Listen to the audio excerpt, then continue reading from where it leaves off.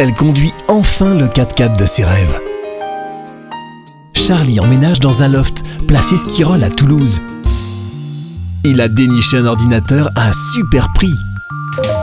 Publi.fr, immobilier, auto, bonnes affaires, le site de ceux qui ont trouvé.